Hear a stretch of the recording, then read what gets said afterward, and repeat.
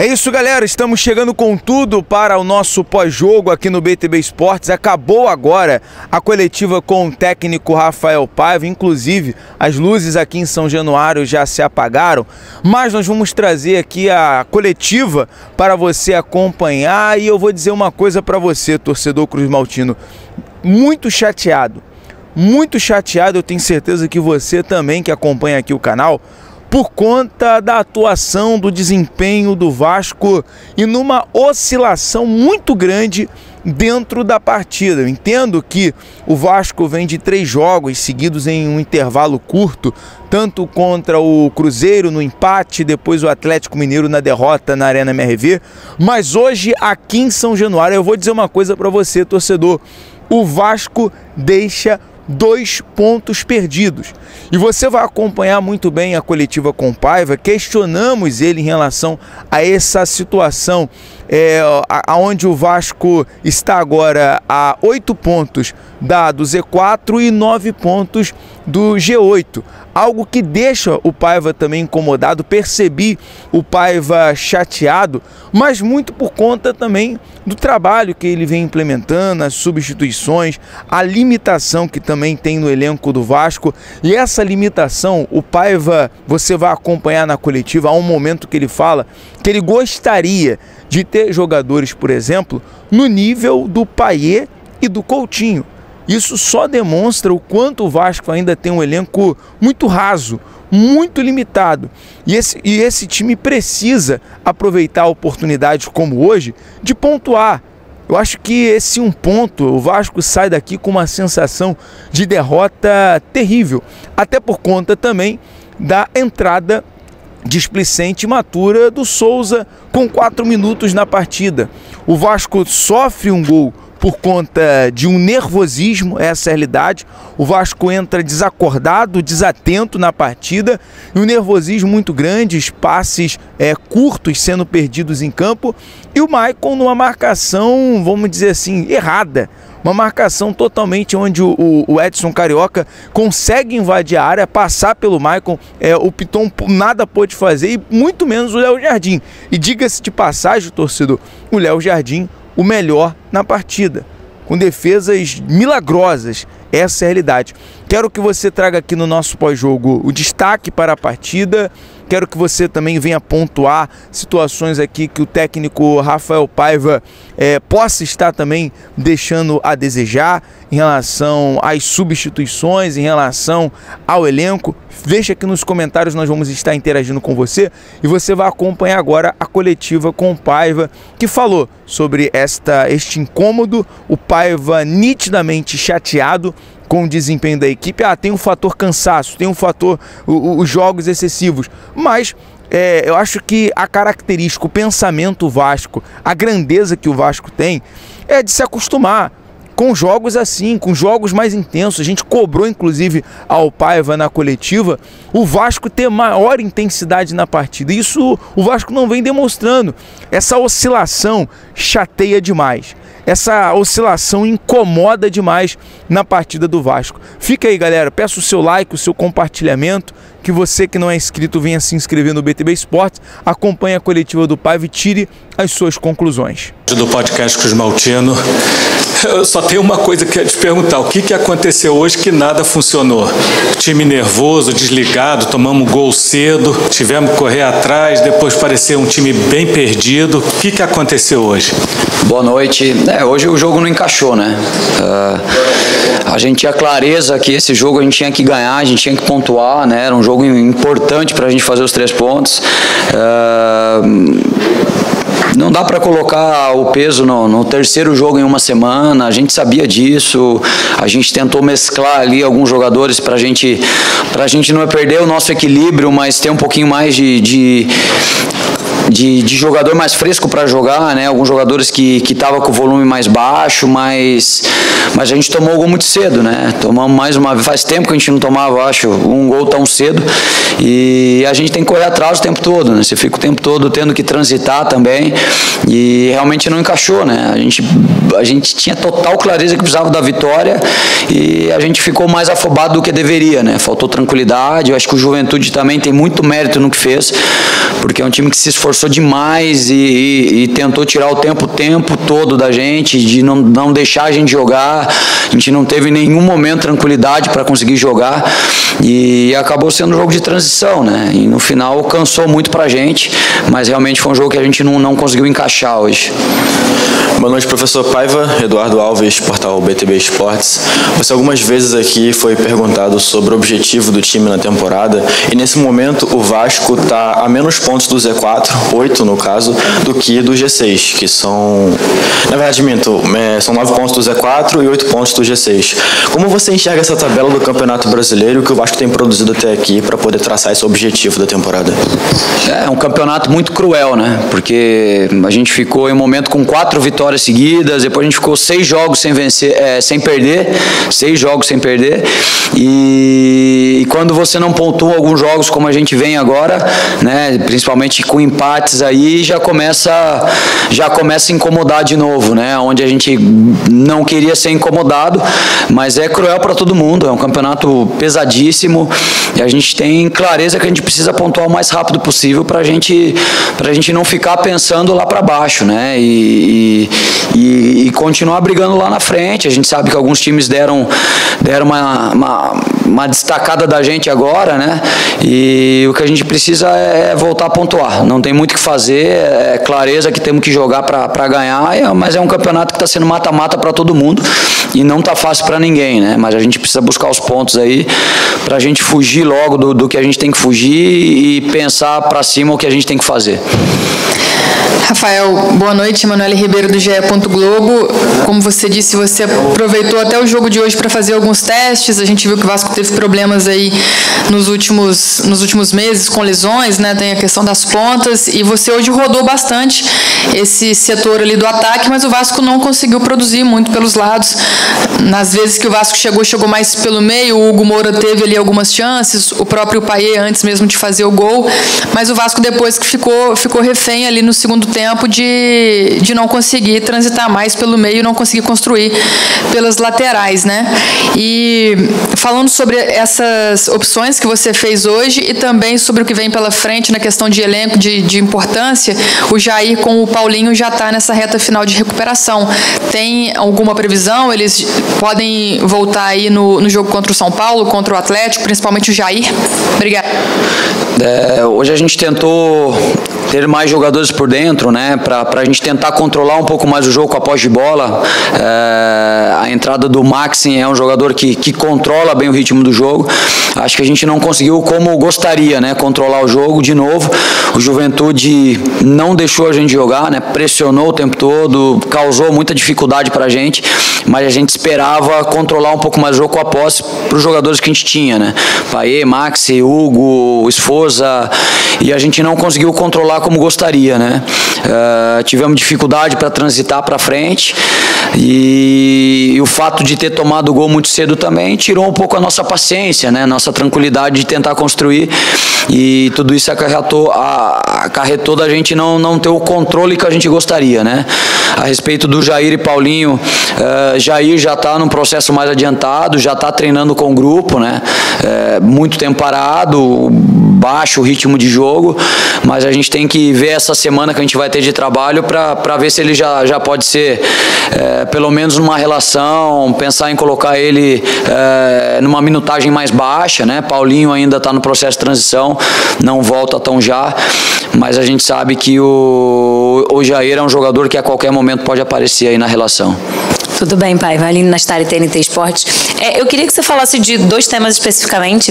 É, primeiro, em relação aos jogadores que você tem como jogadores decisivos, a gente vê muita discussão, às vezes, em, em, em, em cima do Paier, em cima do Coutinho. Sempre entra um, quando um joga, né? O outro que entra. A gente sempre vê o torcedor, às vezes, falando, ah, do lado defensivo e tal. E nos últimos jogos, são jogadores que demonstram o tamanho que tem, porque são jogadores que, no momento ruim do Vasco, são jogadores que estão definindo. Como é que você faz esse equilíbrio do que você perde do que você ganha e o quanto que você ganha e, e, o quanto que os últimos jogos têm demonstrado isso.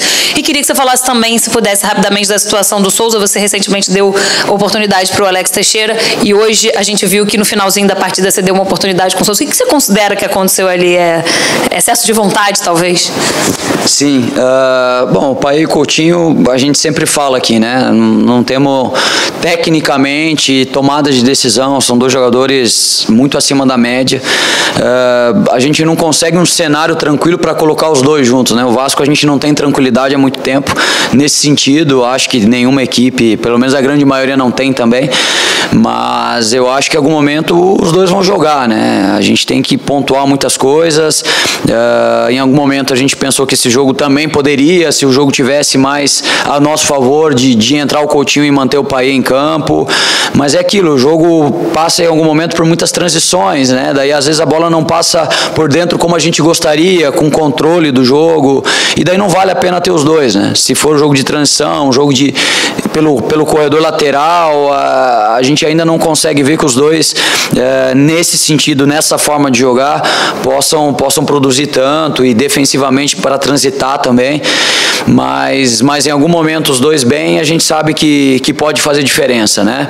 Uh, a respeito do, do Souza, eu acho que ele perdeu um pouco o timing ali, né? Foi o excesso de vontade uh, e, e, tomou o cartão vermelho. A gente não, eu pelo menos não revi o lance ainda, e, mas ele já falou ali que, que acha que foi, realmente perdeu o timing ali e, foi um pouco mais forte do que deveria e faz parte de um jogo tenso como esse. A gente tem que a gente tem que saber que isso pode acontecer, mas é, tenho certeza é um jogador experiente e vai dar a volta por cima rápido aí. Rafael, boa noite. Cícero Melo da ESPN, dos canais Disney, boa noite a todos. É, o Vasco já não vence há seis jogos, quatro pelo Campeonato Brasileiro. A última vitória faz mais de um mês que foi lá em Salvador, né, no Barradão 1 a 0 contra o Vitória. A que, que se deve essa queda de produção do Vasco em termos principalmente de resultados? E agora com essa parada FIFA, o que, que você tem certeza que precisa melhorar e que pode é, ter esse tempo, né, até o jogo contra o São Paulo? Boa noite. Boa noite. A gente teve um setembro fora de casa, né? A gente não jogava aqui desde agosto, se eu não me engano, e isso é muito difícil, né? A gente jogou um mês fora, jogos pesados, né? Flamengo, Palmeiras, Cruzeiro, Atlético, é, foram jogos muito pesados. A gente até pontuou que a gente conseguiu competir contra todo mundo, mas não conseguimos três pontos, que é importantíssimo, né? Uh, e a gente queria muito esses três pontos aqui em casa, né? Não tem muito o que fazer, a gente tem que buscar os três pontos, a gente tem que buscar pontuar mais, principalmente com as vitórias. Uh, acho que agora, com essa pausa, pelo menos a gente consegue uh, ter todo mundo 100%. E, e essa fase final de, de Copa do Brasil, Campeonato Brasileiro, a gente sabe que vai ser dificílima para todo mundo, não é só para o Vasco não. Acho que vai ser difícil para todo mundo. Todo mundo tem que provar alguma coisa e da nossa parte a gente tem que a gente tem que pontuar para brigar lá em cima, para fugir dessa situação incômoda da, da parte de baixo da tabela, né? Que a gente não estava há muito tempo. Eh, a gente ainda não está, mas a gente começa a ver as equipes de baixo pontuando um pouco mais. A gente tem que ganhar, tem que vencer e tem que, que ver logo o que, que a gente precisa melhorar como equipe aí para a gente buscar as vitórias de novo. Não tem muito o que fazer. Rafael, boa noite. Marco Vasconcelos do canal Atenção Vascaínos. Eu não vou te perguntar de novo sobre dupla de zaga, você já tem respondido toda a coletiva, mas assim, te perguntar primeiro sobre é, o que traz assim até um pouco de dificuldade na saída de bola, a presença do Maicon em termos de velocidade e indo para outro ponto que é a parte ofensiva. Eu posso estar enganado, mas pelo menos pelo que eu percebi do jogo com o Cruzeiro para cá, o Vasco está tentando uma marcação mais alta, está conseguindo roubar algumas bolas. Foi assim hoje que fez o gol de empate. É, como fazer esse encaixe do time com as peças até que você tem, tem utilizado, o Puma e o Emerson, hoje o Leandrinho, são jogadores que têm mais mobilidade, conseguem fazer essa pressão, mas por outro lado, é, com o Maicon, e entendo que os zagueiros sejam importantes também para essa saída, é, não fica um pouco mais difícil você tentar fazer essa, até perigoso? Acho que a palavra certa é perigoso ou não? É, eu acho que a gente sempre falou aqui da característica dos jogadores, né? É, Michael é um jogador que domina mais a área, é um jogador com uma liderança muito grande dentro de campo, fora de campo. Uh, e a gente tem consciência que, que ficar alto é mais difícil com o Michael, mas uh, o Michael tem muita, muita inteligência de jogo, é um jogador que consegue cortar os caminhos ali e a gente está tentando. Acho que a gente hoje conseguiu roubar a bola na frente e fazer o gol, só que a gente teve algumas outras oportunidades que a gente não conseguiu. A gente está tentando buscar a melhor forma de juntar o nosso quebra-cabeça ali. A gente está tentando muita coisa, a gente está rodando o nosso elenco, a gente sofreu com jogadores importantes que, que, que não estão mais, principalmente Adson e David, tinha encaixado muito bem a equipe com eles. A gente está buscando o próximo encaixe agora e a gente tem que fazer isso no meio de jogos importantes, numa semifinal de Copa do Brasil e, e a gente está tentando, a gente está buscando, a gente está tentando buscar a melhor forma e a gente está brigando para tentar o nosso melhor jogo. É isso que nos incomoda bastante, é, é tentar encontrar logo a nossa melhor forma de jogar, os melhores jogadores que se conectem dentro de campo e a gente está tentando buscar e a gente não vai descansar enquanto a gente não, não conseguir encontrar. Pai, Tati Band, tudo bem? É, você falou aí, são jogos difíceis, tem o Campeonato Brasileiro e também a semifinal da Copa do Brasil, né? Que para o torcedor vascaíno é muito importante chegar numa final depois de tanto tempo, tanta coisa que esse clube passou. É, o Vasco só volta a jogar no dia 16 contra o São Paulo pelo Brasileiro. Logo depois já vem esse jogo decisivo com o Atlético Mineiro. Nesse período de data FIFA, que você falou que vai ter os jogadores ali 100%, você pensa também em estabelecer prioridade no jogo do São Paulo para o jogo com o Atlético Mineiro? Às vezes mesclar a equipe, é, guardar a força máxima para um segundo jogo ali com o Galo? É, a gente, a gente tem que estudar. É, realmente vai ficar um jogo próximo do outro, né? A gente sabe que vai ser difícil, mas de novo é, é difícil colocar prioridade porque a gente precisa, a gente precisa pontuar no Campeonato Brasileiro também.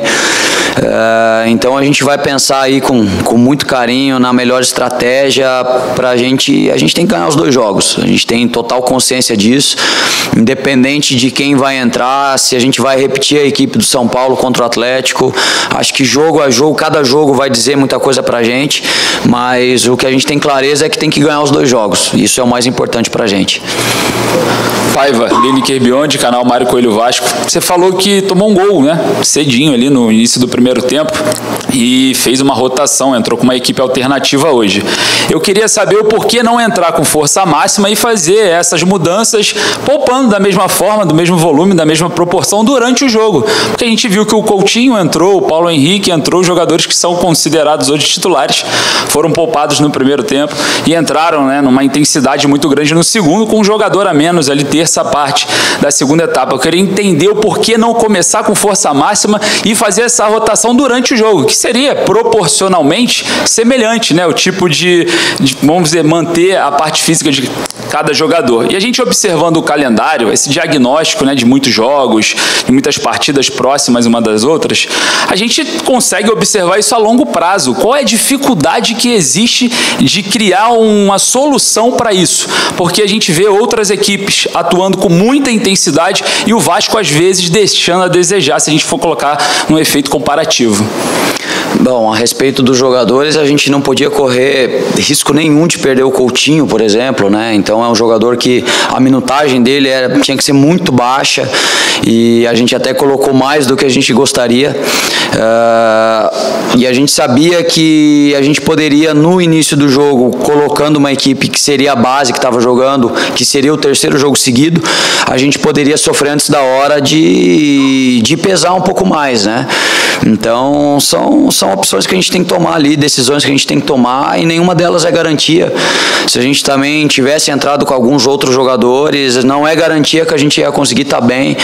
É, de novo, tomamos um gol muito cedo, então já cai por muita coisa do que a gente ia fazer, né? Mas são, são decisões, às vezes ela dá certo, às vezes ela não dá e a gente tem que, tem que tomá-las, né? Importante é que a gente está tentando demonstrar que a gente conta com todo mundo que tem no nosso grupo, a gente precisava é, dar uma oportunidade para o Maxim para entender como ele funciona em jogo, né? A gente colocou muito pouco tempo o Max em jogo, então é, iniciar um jogo é importante para o jogador, né? É muita diferença do que você entrar no meio do jogo. É, então a característica dele muda a característica da nossa equipe jogar. Então a gente queria tentar ter esse controle por dentro. Então são, são decisões que a gente toma e, e nem sempre o adversário contribui com a gente, né? Porque eles vão buscar as alternativas deles, as estratégias dele e, isso faz parte do jogo. A respeito do calendário, acho que assim a maioria das equipes oscila muito, né? Uh, a gente tem um, plantel ali que a gente busca, o que a gente tem é, é desenvolver os meninos da base. É, em alguns momentos eles entram muito bem, em outros momentos eles sentem um pouco mais esse tipo de jogo. E eu sempre falo que é um processo, a gente tem que ter paciência com o processo do Vasco. A gente tem colocado muitos atletas jovens para jogar. É a equipe que mais tem jovens atletas jogando. Então, é, é, acho esse um dado considerável, né? Lógico que a gente quer entrar e ganhar todos os jogos e tá atropelando todo mundo, mas é muito difícil. Eu acho que a gente poderia estar tá sofrendo muito mais. Às vezes alguns, alguns torcedores sabem que a gente poderia estar tá, tá sofrendo lá para baixo, a gente não tá. Então, a gente tem que ter consciência que esse é o processo, que a gente está evoluindo muitos jogadores jovens. A gente gostaria de ter mais jogadores do nível do Coutinho para jogar, do Paê, a gente não tem. É, então a gente tem que dar conta com o que a gente tem aqui. A gente está tentando buscar a melhor maneira aí de, de encontrar eh, a nossa forma de jogar, de, de, de vencer mais jogos, de, de, de, de conseguir ser soberano no, no, em todos os jogos, mas é um processo difícil. A gente tem que ter paciência a gente está tentando buscar. É, boa noite, Paiva, aqui no canto. É, você citou o Maxime agora nessa resposta anterior. Queria só pedir para você aprofundar um pouco mais na avaliação. Você falou da última, na, na, no meio da semana passada, no meio da semana, desculpa, é, sobre a adaptação dele. Falou que ele precisava começar um jogo que é diferente dele entrar. Queria que você avaliasse a atuação dele, é, o posicionamento. Ele atuou um pouco mais aberto ali pela direita. É por ali mesmo que você acha que ele, que ele pode ajudar mais o Vasco? E como você avaliou a, a atuação dele hoje? É, o Max é um jogador que, que flutua para dentro, né? Ele começa aberto, mas é um jogador que começa a, a, de fora, vem para dentro. É um jogador que tem uma boa relação com a bola, controla bem. Acho que ele que ele tem sofrido é a intensidade do jogo aqui no Brasil, principalmente da pressão alta, né? É, na Europa geralmente se tem um jogo mais posicional, um jogo que dá tempo de pensar um pouco mais, principalmente na primeira fase de construção. E aqui no Brasil as equipes estão marcando alto, individual, e ele, ele sofreu, está sofrendo um pouco mais, mas é, de novo, acho que ele está se adaptando, está entendendo. É, a gente precisa dar esse volume de jogo para a gente entender também o que ele, o que ele pode entregar para a gente ali. E eu acho que ele fez um jogo que ele tentou buscar a bola, ele tentou construir, é, sofreu nos embates físicos de um para um ali, sofreu é, muita trombada, né? Algumas ele esperava falta e aqui não é falta. Então é nesse sentido que eu acho que ele está se adaptando, mas é uma característica de jogador interessante, que é importante a gente ter no elenco, importante se a gente conseguir controlar um pouco mais o jogo, tenho certeza que ele, que ele vai ter mais volume de jogo aí. Meu ídolo, deixa eu te fazer uma pergunta interessante que alguns torcedores me pediram para te fazer. Paí e Coutinho podem jogar juntos? Pode, não tenho dúvida que pode. É o que mais a gente quer também. Eu acho que em algum momento tá, tá, tá próximo esse momento dos dois jogarem juntos, né? A expectativa é muito alta, inclusive nossa. É, acho que principalmente Coutinho, que era, que era uma preocupação grande nossa, ele tá, ele tá conseguindo se adaptar rápido, tem jogado no bom nível, hoje conseguiu entrar. Fazia muito tempo, acho que o Coutinho não jogava três jogos seguidos, então a gente conseguiu conseguiu fazer ele jogar ali. Acho que ele está cada vez mais confiante e eu acho que daqui a pouco os dois vão jogar junto. A gente espera que dê muito certo e eles não saiam mais.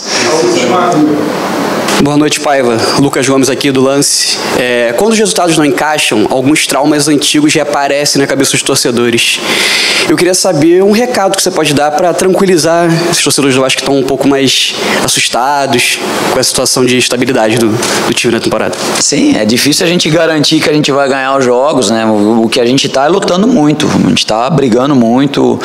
Acho que em alguns momentos a, a gente briga mais do que controla o jogo, né? Isso é uma coisa que a gente quer mudar. Em alguns momentos a gente conseguiu, outros nem tanto. Uh, mas a gente tem total consciência que, que a gente não pode ficar perdendo pontos, que a gente tem que ganhar para não depender das últimas rodadas, né? E o que a gente pode falar é que a gente está trabalhando muito. A gente está trabalhando muito, a gente tem total consciência de tudo que está acontecendo.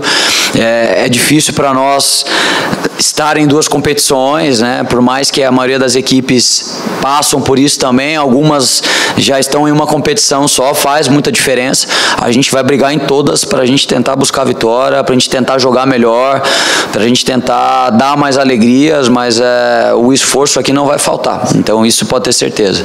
Obrigado.